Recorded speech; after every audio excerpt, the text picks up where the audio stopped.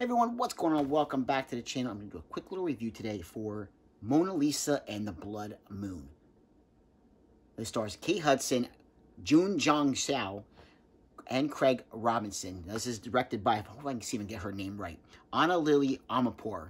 So, what do I think about this film? This one just came out recently on Blu-ray. I decided to pick it up from Amazon. It was like $14.99. And because I'd heard good things about it. You know, I actually, you know, heard a few podcasts talking about this one, mentioning, you know, the horror aspects to it. And I think that was kind of, that's, that's what threw me for a loop because is there, are there horror elements to this film? I wouldn't really say it's horror.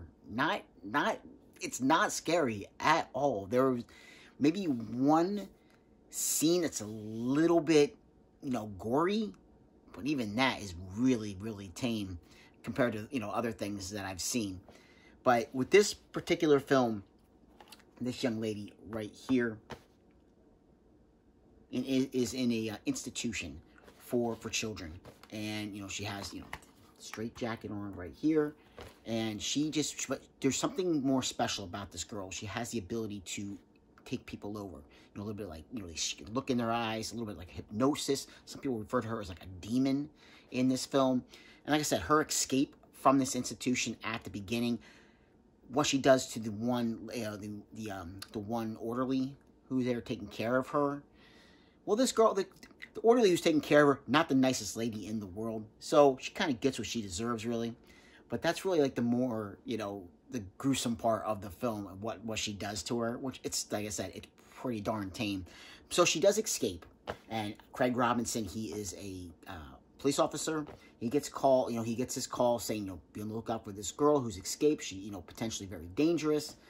And, you know, proceed with caution. And he does, of course, come across her, and she is able to stop, you know, stop him from arresting her by taking over his mind and making him do something, you know, to himself and injuring himself. And it say exactly what he does? But he does injure himself, and basically the whole rest of the film is him trying to track her down. He's on this case he wants to, you know, people aren't going to believe him that this girl, you know, took over his mind, even though we've, you know, he comes across other people who this girl has, you know, come in contact with, you know, she's done the same thing to them. So that's basically his crusade throughout the film is to track her down. He does a pretty darn good job. Usually I'm used to Craig Robinson more in the comedic roles, but he does a pretty darn good job in this film, you know, for what it is as a police officer. Now, she does come across Kate Hudson, who is a, you know, a, um, a dancer, like a stripper. And Kate Hudson realizes this girl has special power. So, of course, she kind of like takes advantage of her, you know, letting her pretend that, you know, she's kind of like her friend and everything. And she's able to get her to control the gentleman in the club and, you know, make them throw all their cash at Kate Hudson. So she's able to collect a lot more money. Kate Hudson, not a likable person in this film at all. I haven't seen her really in anything recently. I know she's been in some other films, but nothing recently that I've actually watched. And I thought she was she's good in the role that she's trying to portray in this film because she's you don't want her to be a likable character.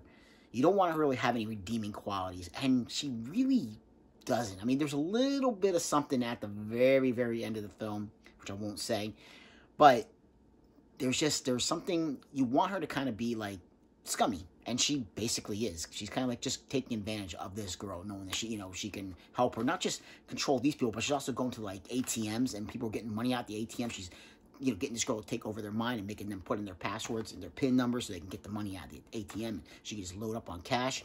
Now, Kate Hudson does have a young boy, um, young son in this film. I would say he's probably about maybe eight to ten years old, and he befriends, you know, Mona Lisa, and she, you know, she sees that this Kate Hudson is not very good to her son, not very nice at all, and the plan is for them to kind of like try to run, you know, run away in this film. So, but you know, things are a little bit twists and turns that do happen at the, you know, towards the end of the film. But I mean, overall, I would say it's not. It's a thr like it's, it's, this is this is right here, a demon out of water fairy tale thriller. Yes, there are some thriller aspects to this film. It's definitely not a horror. I would not call it a horror at all.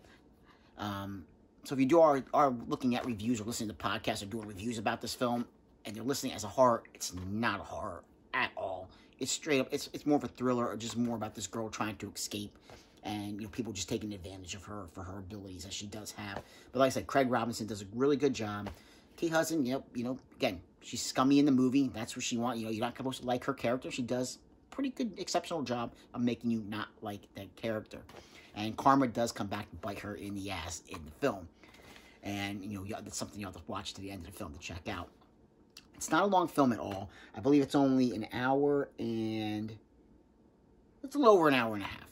And I don't feel I don't feel like it dragged on. I think visually, I think the film looks okay. The setting of being in uh, New Orleans, I think that works. It helps it definitely.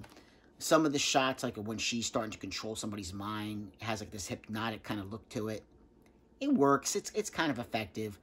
Um, but like blown away by the film, I wouldn't say I was blown away by the film. I say it's more of a middle of the road check it out once type of film if if you've heard things about it if you want to just check out something and you know something different that you haven't you know you've heard about or you know just come across it like if you like kate kate hudson if you're a fan of craig robinson you know it's definitely at least worth a watch do i feel like it's worth 15 bucks probably not probably should have waited for it to drop in price a little bit um, visually like i said visually it's okay it's not going to blow you out. It's not going to blow your mind. It's not going to, you know, change anything, you know, perception of how visually, you know, films look it's standards. It's standard fare. It's like I said, middle of the road.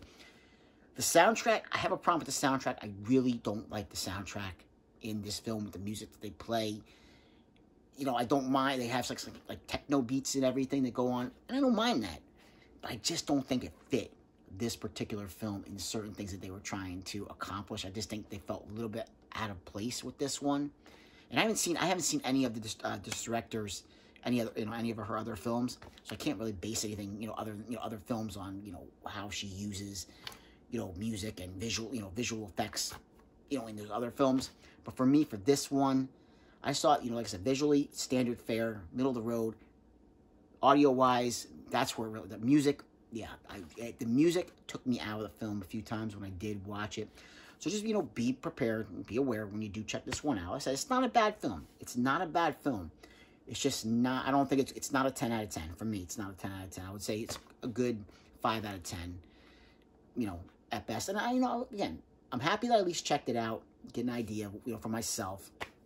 And, know, I can see why some people probably might like this in the more, you know, some artistic little things here and there. But, you know, it's not a bad film. A 5 out of 10, at least worth one watch. So, that is Mona Lisa and the Blood Moon. And this actress right here, she does a pretty good job. I would say she's probably the the shining light of the film. She definitely does an excellent job with what she's working with in this one.